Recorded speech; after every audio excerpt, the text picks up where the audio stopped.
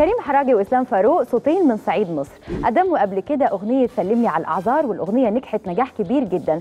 كريم وإسلام كانوا ترند الأيام اللي فاتت بعد ما غنوا مع بعض أغنية كان يا مكان لميادة الحناوي. إحنا التقينا بيهم علشان نعرف تحضيراتهم الفترة اللي جاية. سلمني على الأعذار.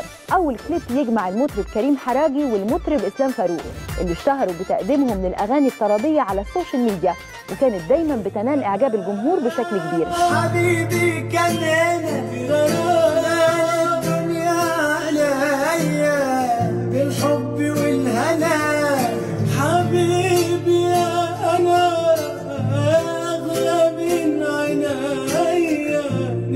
من إحنا في لايت شو التقينا بيهم وكلمونا عن بداياتهم. عملنا فيديو سوا و... و... والحمد لله جينا من خلاله شركات إنتاج كتير. آه عملنا فيديو بنغني فيه غنوة كده اسمها اشتروني. دي كانت ب...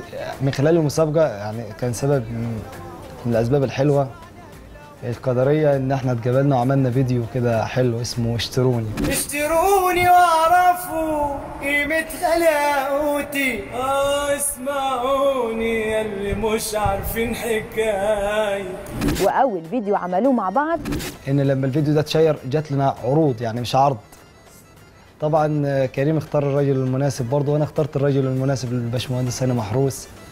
آه كريم ما شاء الله يعني شغال وعمل أكتر من حاجة. وأنا آه عملنا الغنوة سوا مع بعض وعمل رائع ومشرف جدا طبعا.